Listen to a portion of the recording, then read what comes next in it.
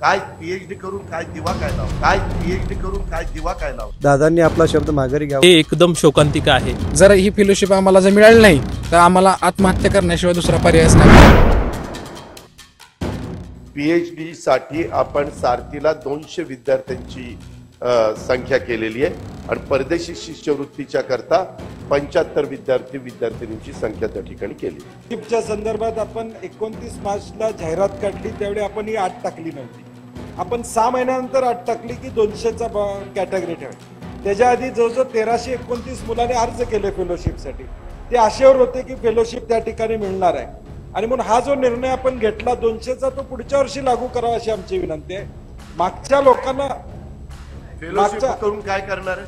नाही पीएचडी घेतील ना साहेब. काय पीएचडी करून काय दिवा काय लावणार? काय पीएचडी करून काय दिवा काय लावणार? असं कसं म्हणता येईल दादा? पीएचडी. दादा पीएचडीची संख्या दादा पीएचडी धारकांची संख्या महाराष्ट्रात या योजनेमुळं जास्त होणार आहे.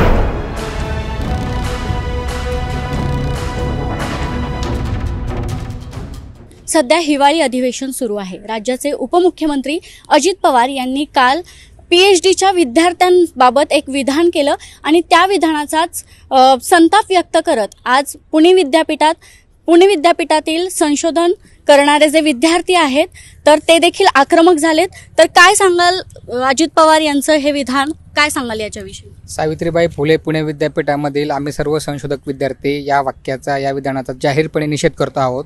महाराष्ट्रामध्ये वेगवेगळ्या ठिकाणी संशोधक विद्यार्थी आपापल्या पद्धतीने निषेध व्यक्त करत आहेत. अशा पद्धतीचं विधान करणं ही अत्यंत चुकीची गोष्ट आहे. पी एच डी करणारे विद्यार्थी हे देशाचं भवितव्य असतं. विद्यापीठाच्या रँकिंगमध्ये विद्यापीठाच्या मूल्यांकनामध्ये भर घालण्याचं काम हे पी एच डी संशोधक विद्यार्थी करत असतात. आणि अशा महत्त्वाच्या पदवीला जर उपमुख्यमंत्री अशा पद्धतीने दिवे लावण्याची भाषा करत असतील तर आमच्याही मनात कुठेतरी प्रश्न येतो की यांनी काही हजारो कोटी रुपयांचे भ्रष्टाचार केले आणि फक्त स्वतःच्याच घरामध्ये दिवे लावले परंतु आम्ही पी एच डी करून संशोधन करून गोरगरिबांच्या घरामध्ये दिवे लावण्याचं काम करणार आहोत. त्याच्यामुळं कोणी काही जरी म्हटलं तरी आम्ही आमचं संशोधन कार्य चालू ठेवू आणि आमचा जो लढा आहे सरसकट फेलोशिप मिळाली पाहिजे त्याच्यावरती आम्ही ठाम आहोत.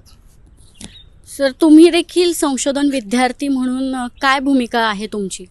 प्रथमतः हा जो काल विधान केलं अजितदादा पवारांनी तर ते अतिशय चुकीचं आहे. कारण हा आमचा पदवीचा अपमान आहे. डॉक्टर बाबासाहेब आंबेडकरांनी पी एच डी केली होती. त्यांचा अपमान आहे. कारण पी एच डी करून दिवे लावणे हा खूप म्हणजे असा एकदम निंदनीय असं वाक वक्तव्य त्यांनी केलेलं आहे. आणि आमच्यावर एकदम असं खालच्या दर्जाचे आम्हाला असं समजलं जातं आहे की पी एच डी म्हणजे काहीच नाही. तर तर आम्हाला कुठंतरी चुकीचं वाटतं आहे कारण याच्या अगोदर ज्या म बार्टी सारथी महाज्योती ज्या संस्था होत्या त्यांनी सरसकट फेलोशिप दिली. दोन हजार एकवीसच्या बॅचला दिली दोन हजार बावीसच्या दिली. माझं देखील दोन हजार बावीसचंच रजिस्ट्रेशन आहे. पण माझं रजिस्ट्रेशन थोडं लेट झाल्यामुळं मी त्यातून हुकलो. आणि मग आता माझी संधी गेल्यामुळे माझ्या सहकाऱ्यांना ते पी फेलोशिप भेटते आणि मला भेट भेटत नाही. तर तर ते मला वाईटच वाटते कारण सहकाऱ्यांना भेटते आणि मला भेटत नाही. ते खूप वाईट आहे. तर माझं सरकारला एवढीच विनंती आहे की या या वर्षी तुम्ही कुठल्याही जाहिरातीमध्ये नमूद न करता परीक्षा लावली परत जागा कमी केल्या तर ते तसं न करता त्यांनी सरसकट फेलोशिप द्यावी हीच आमची मागणी ह्या भूमिकेवर आम्ही ठाम आहे.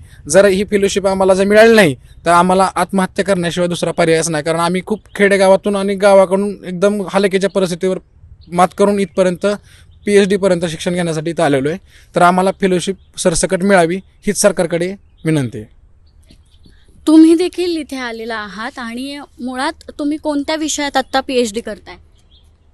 नाही सध्या मी पी एच डी कोणत्या विषयामध्ये करत नाही. विद्यार्थी प्रतिनिधी म्हणून मी विद्यार्थ्यांची बाजू घेण्यासाठी येथे उपस्थित आहे. प्रथमतः दादांनी जे काही वक्तव्य केलं हे अतिशय निषेधार्थ असं वक्तव्य आहे. आणि कुठल्याही देशाची जर प्रगती मोजायची असेल तर संशोधन हा अतिशय महत्त्वाचा भाग आहे. आणि संशोधन केल्याशिवाय कोणत्याही देशाची प्रगती होत नाही.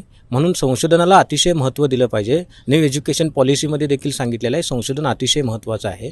म्हणून संशोधन हे अतिशय महत्त्वाचा भाग आहे.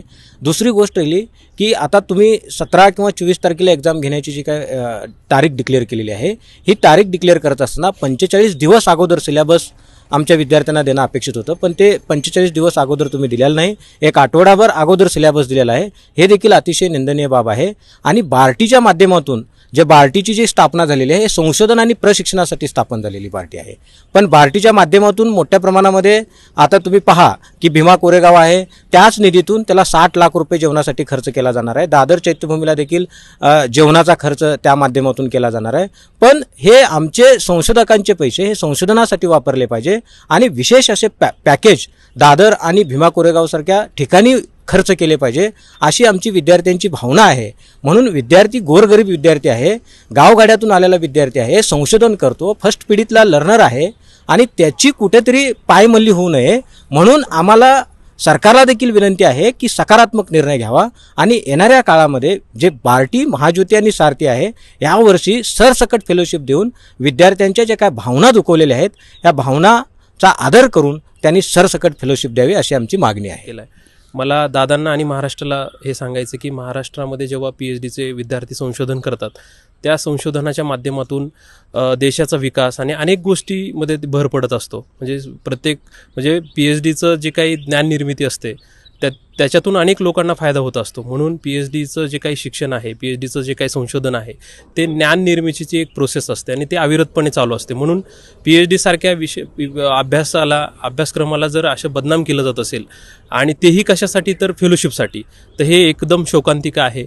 आप- महारा आपला महाराष्ट्र हा पुरोगामी महाराष्ट्र आहे.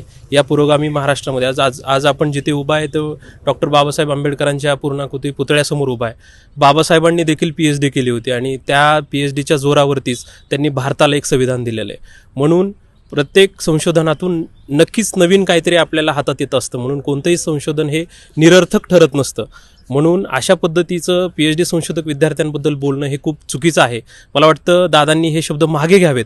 आणि मागेच नुसतं घेऊन चालणार नाही तर पी एच डीच्या संशोधक विद्यार्थ्यांची जी काही रखडलेली फेलोशिप आहे ती त्यांनी विद्यार्थ्यांना देऊन टाकावी. आणि विद्यार्थ्यांच्या संशोधना संशोधनाला पाठपुरावा द्यावा पाठिंबा द्यावा आणि त्यांचं संशोधन कसं पुढे जाईल याचा विचार करावा.